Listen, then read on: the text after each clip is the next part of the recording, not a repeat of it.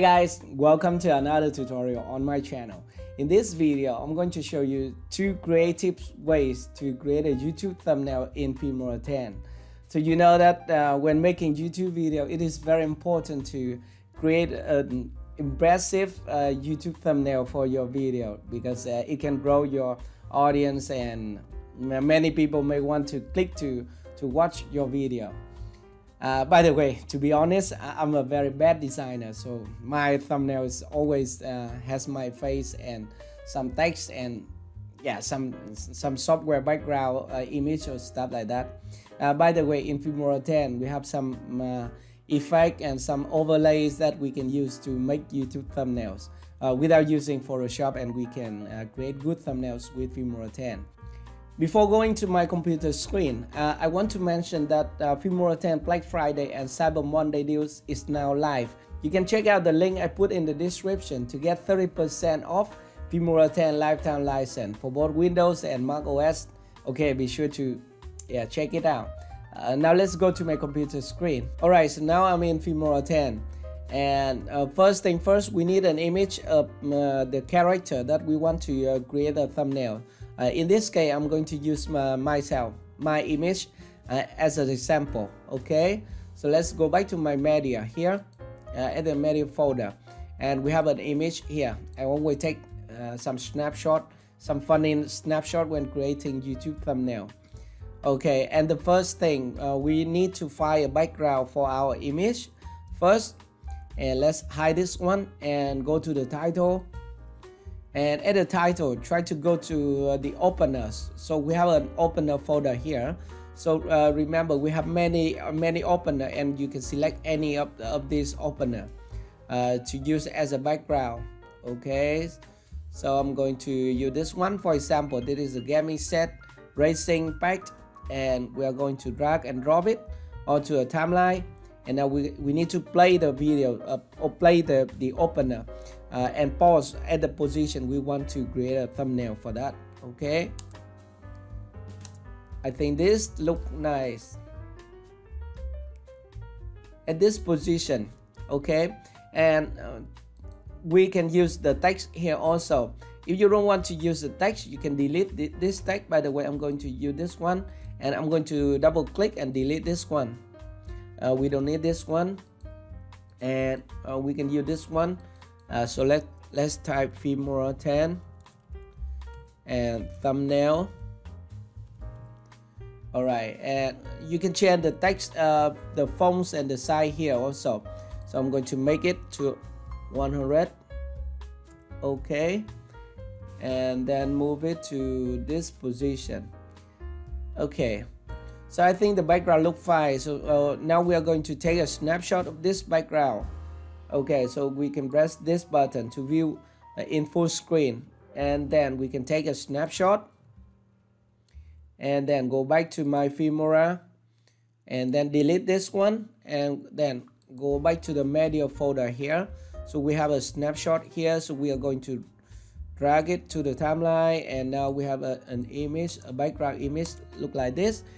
And now we can turn on this layer okay? And for the first solution I'm going to use an image mask and also an, a border around the image uh, to create a YouTube thumbnail. It is very easy. Okay so at this position uh, I'm going to the effect tab here and then go to the utility and then drop an image mask to the image and then I can adjust the image by double click at the image here and go to the image mask and now I can change the size and the position of the mask uh, but we are going to use this one the circle one. So I'm going to adjust the height and the width look like this and the position.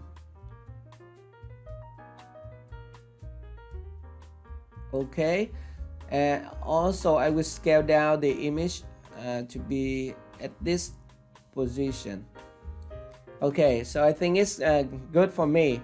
And we can click OK and, and now we need to add a border. So this is a border effect and we can drag and drop it right here.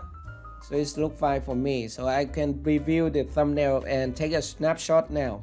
So we can press this button to view uh, in full screen first. And then we can take a snapshot with this button. And that is for the first the first YouTube thumbnail. Okay and then we can go back to our media folder and find the snapshot in, on our computer. Uh, and you can right click here and select preview in Explorer. Okay so this is a snapshot and we can see the size. It is in uh, 1080p and uh, the size 1.15 megabyte. And we can double click to view the image alright so, so it's look nice right? And now you can upload it to YouTube and use this thumbnail for your video. So that is the first solution. And now we are going to make another YouTube thumbnail with uh, some AI portrait effect okay? So we can just close this one and go back to here. All right and now i'm going to delete the effect of the image here. Uh, let's right click and go to the effect here and delete the effect. And now we need to use the AI portrait which is in the effect tab here. And then select this one the AI portrait. And you have the the effect to remove the background here human segmentation. So you can drag and drop this one to the image. And it's look fine right? And we can double click at the image go to the video effect here and then find the human segmentation effect to adjust adjust the border and thickness so we can reduce the increase the edge thickness. Okay and increase the edge feather also. I think it's fine for me. Uh, now we can move the image to this side and also scale it down. Uh, something like this uh, will be fine for me. And I'm going to add a border around my my subject also so let's click OK. And we have a human border here. And we some have some other effect here. By the way we are going to use this one. And drag and drop it directly to to the image here. And now again uh, we are going to view in full screen and then take a snapshot. And we finish with the second one. Okay so I'm going to click here to view full screen. And I think it's just fine. And we can click this button to take a snapshot and then minimize it now we can find it on our computer okay and this is a snapshot the second YouTube thumbnail alright so that is two ways to create YouTube thumbnail for your video in Filmora 10 I hope you liked the tutorial. If you have any more questions, let me know in the comment section below. Thank you very much for watching and I will see you in my next video. Bye bye.